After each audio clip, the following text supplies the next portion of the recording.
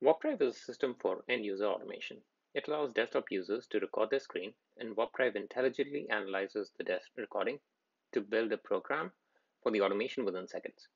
It can work across different applications in the browser or the desktop. The technology behind WarpDrive allows it to create automations that can be recorded on one machine and run on any other machine, even in the cloud. In addition, it can also learn from multiple recordings to create more intelligent automations. In this demo, so let's go ahead and log in first. In this demo, we will give a feel for what it is like to work with WarpDrive for end user business customers. For the first demo, we will create a recording for looking up a lead in Salesforce, where the name of the lead comes from a desktop file.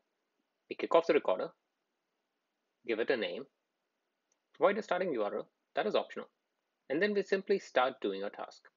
WarpDrive is designed to be as transparent as possible during the recording so that you can do your task as you normally do during your business operations. For demo purposes, I have opened a desktop file, copy pasted the name into Salesforce, and then I'm pulling the address back into the native app. And then I'm closing uh, everything.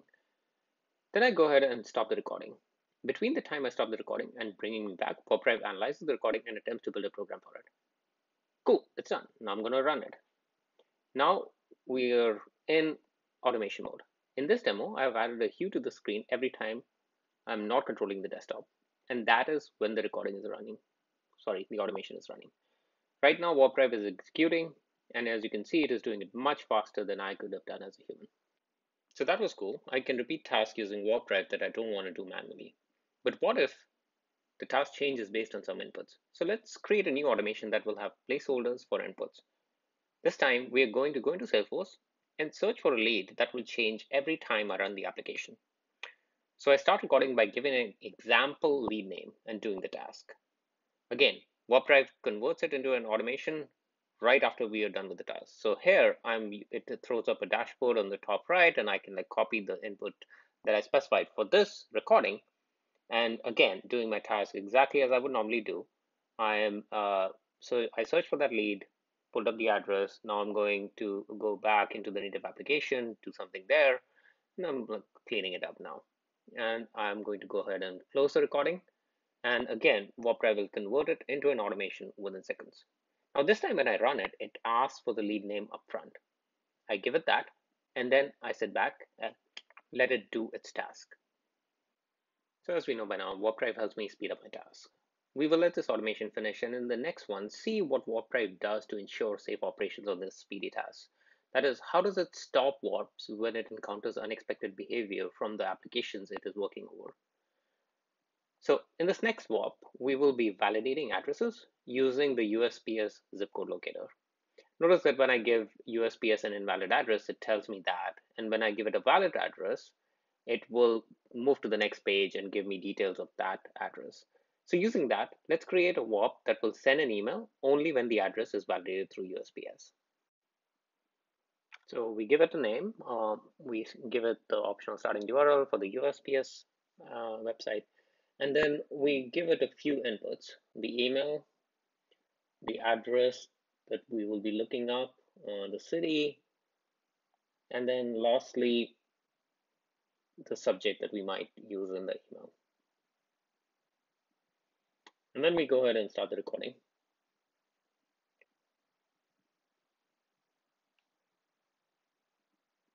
We have the inputs available to us on the top right. We're going to copy paste the ones that we care about in particular locations. WarpDrive is intelligent enough to understand all of that.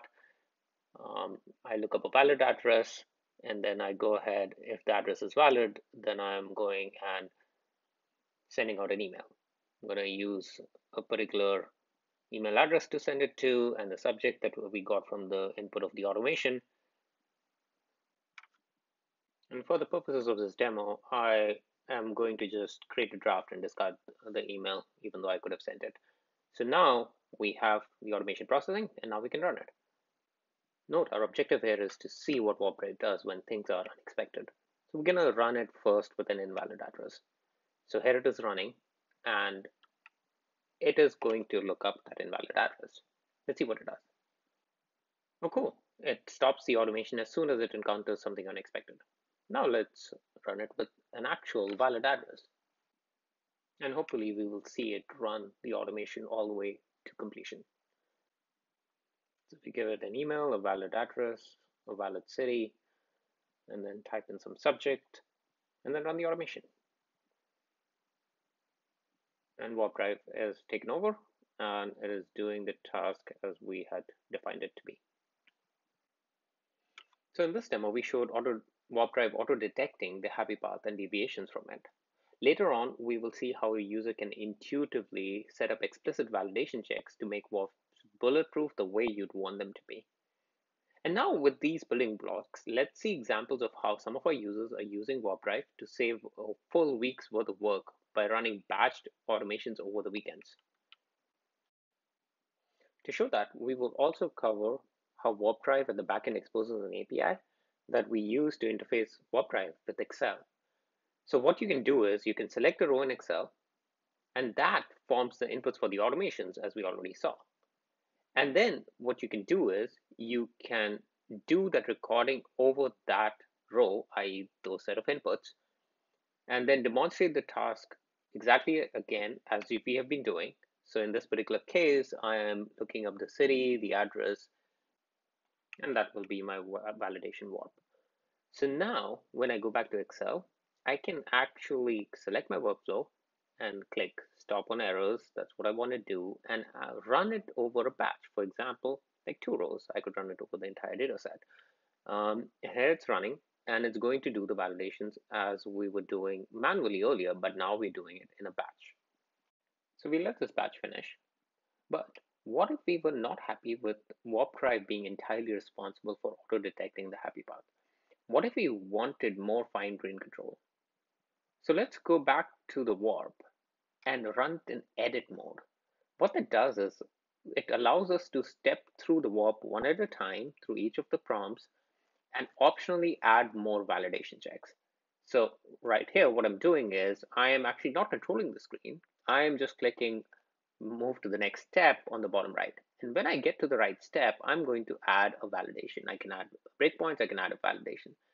And what I want to do is now I want to be ensure that I'm on this page. And the way I can do that is I'm just going to select something on the page. And in this particular case, a keyword entered, and that will be my validation check. If I'm on this page, then I'm on the right path in the warp and the automation.